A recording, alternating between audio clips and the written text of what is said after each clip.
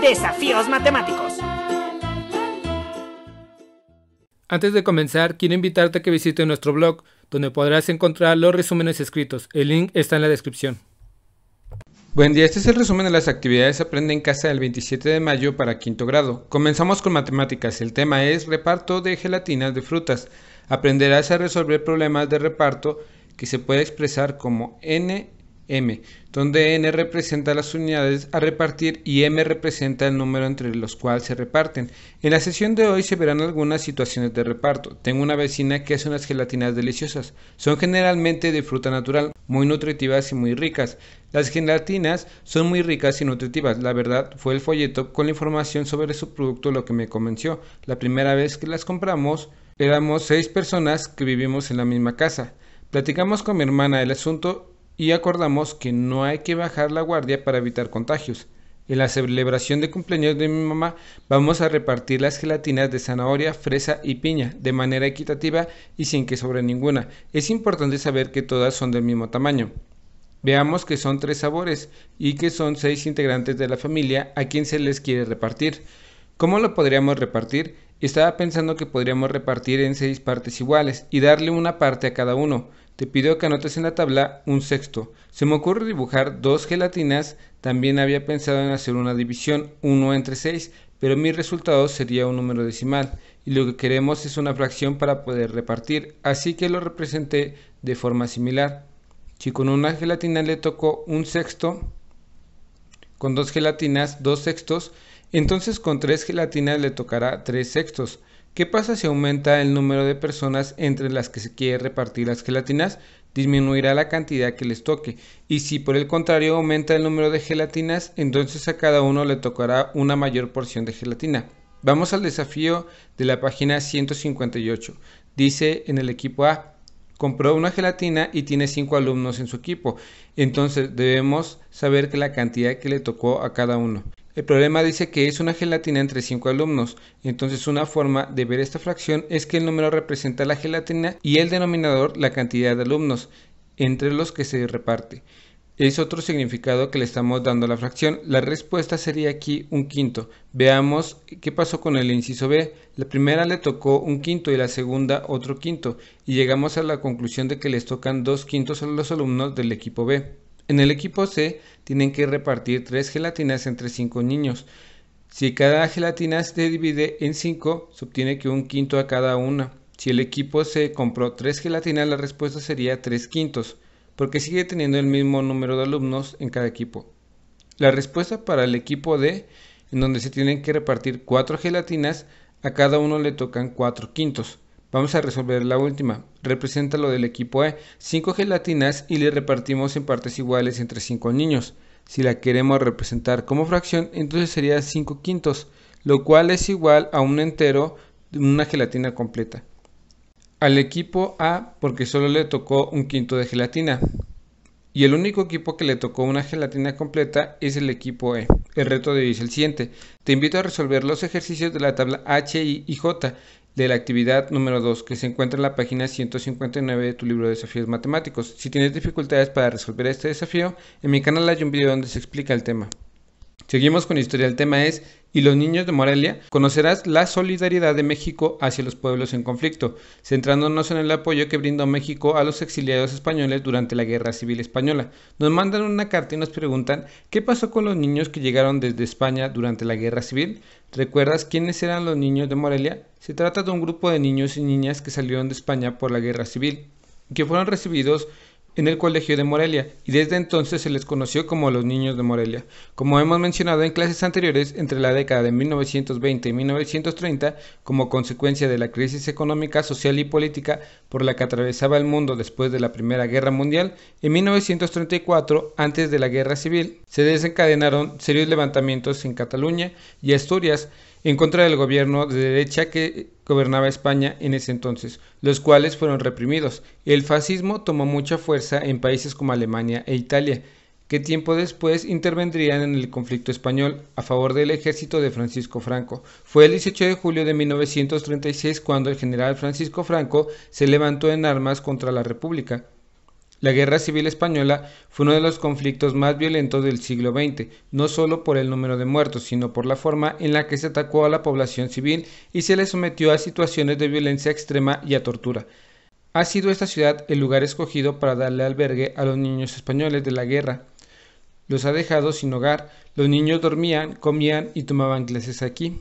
Cuando el conflicto terminó, desafortunadamente, la mayoría de ellos no regresó a su país natal, primero porque casi todos habían quedado huérfanos como consecuencia de la guerra civil y segundo porque allá nadie podía asegurar su seguridad en el contexto de violencia. Entre algunas de las figuras más representativas del exilio español en México se encuentran los directores de cine Luis Buñuel, Amparo Poch, escritora y médica. Fue cofundadora de la revista Mujeres Libres.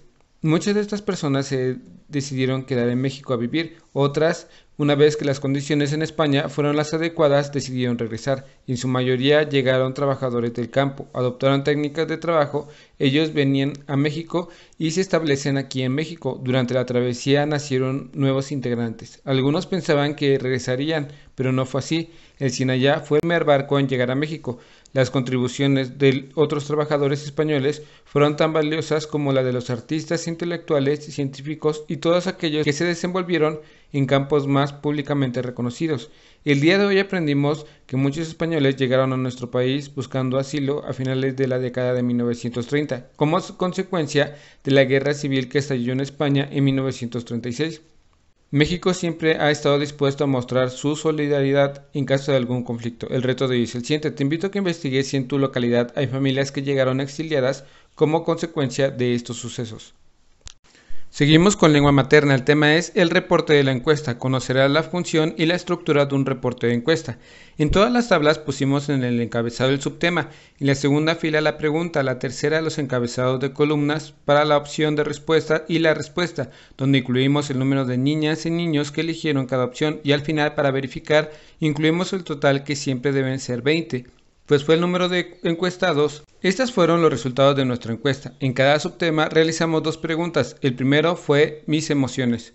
El segundo subtítulo es mi hogar y estos fueron nuestros resultados. El tercer subtítulo es en mi actividad escolar y estos fueron nuestros resultados. Y por último el subtítulo fue de mi vida social y estos fueron nuestros resultados. Es importante recordar que en textos como, como, el reporte, que se construye a partir de la obtención de datos arrojados por los cuestionarios, la organización de la información nos facilita conocer, analizar y presentar los resultados. Para escribir el reporte, primero consideramos los puntos que identificamos al revisar el reporte de Danis en 2010. ¿Los recuerdas?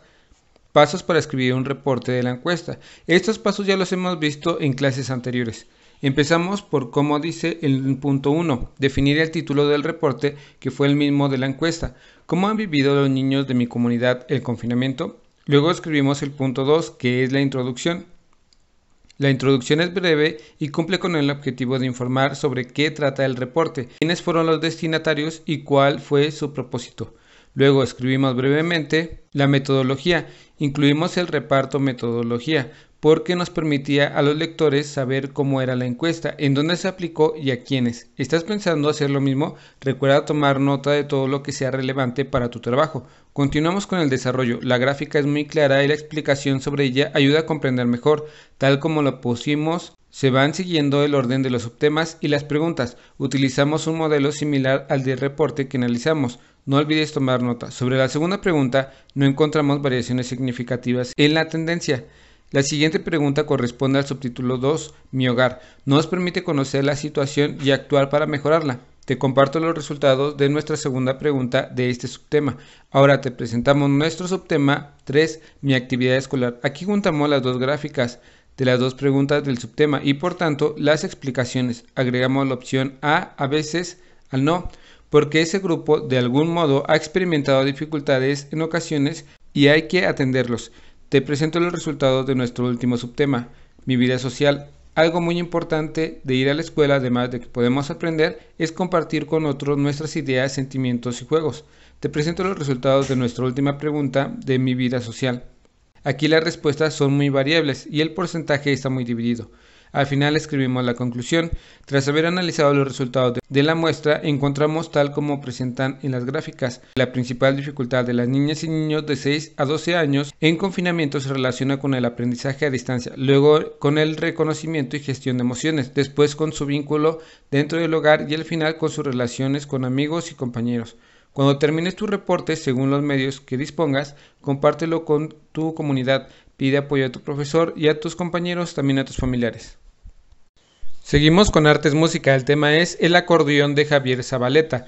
La clase comienza cuando Javier Zabaleta toca de forma increíble. Este es un acordeón diatónico de botones. Hay algunos que tienen teclas. Vamos a la clase de lectoescritura. El compás de la melodía depende de su pulso y de su patrón. Está acentuado cada tres pulsos. Eso significa que la medida está en tres cuartos. El número de arriba nos indica el número de tiempos por compás y el de abajo su valor. Para leer música sin instrumento, marcamos el compás con nuestra mano. ¿Qué otra figura podemos escribir en nuestro compás? Puede ser una blanca y una negra. ¿Y una redonda cabe en el compás de tres cuartos? No porque la redonda dura cuatro tiempos y el compás de tres cuartos solo tiene tres tiempos. Vamos a escribir el compás. En el primer compás ponemos tres negras y su barra de compás. Para el segundo compás pondremos una blanca y una negra y la barra de compás. Para el tercer compás pondremos seis corcheas. Para el cuarto compás pondremos una blanca con un punto. La figura de blanca con punto representa la duración de sonidos de tres pulsos. Vamos a marcar el compás de cuatro tiempos, ahora el de tres tiempos, que sería 1, 2, 3, 1, 2, 3. Vamos a la clase de ritmo, vamos a hacer ejercicios con las notas musicales y ritmo. Vamos a leer la siguiente partitura. Ahora vamos a agregar octavos al inicio de do y en mi. Ahora vamos a hacer el ejercicio solo de ritmo. La música norteña es la música que se toca al norte de la República. Es una música que viene de las personas del rancho y del campo. Está muy relacionada al baile. En la música norteña podemos tocar de todo tipo de música. La música norteña toma influencias de las polcas alemanas y ahí apropiamos las polcas y después pusieron letras divertidas. Nos muestran la tuba que es un instrumento más grande de los metales. Es un instrumento muy grave. Para que suene necesitamos esto que se llama boquilla. La tuba tiene pistones. La tuba puede ser divertida, se puede tocar la canción del Chavo del Ocho. Vamos a la clase de entonación. Realizamos un ejercicio de vocalización que dice sube la escalera 1, 2, 3 y bájala después. Después cantamos la canción del gallo pinto. Ahora cantemos la canción completa. Vamos a curiosidades musicales. Hoy hablaremos de la orquesta. La orquesta significa lugar para danzar.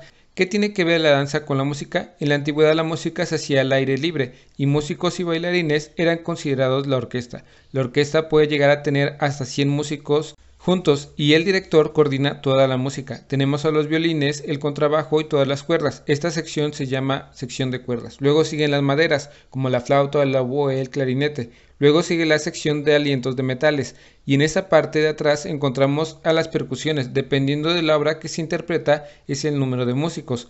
¿Por qué es importante que los niños aprendan música? La música te abre la mente, la capacidad de percepción del arte. La música te cambia la vida. Al final tocan una canción juntos. Y listo, terminamos.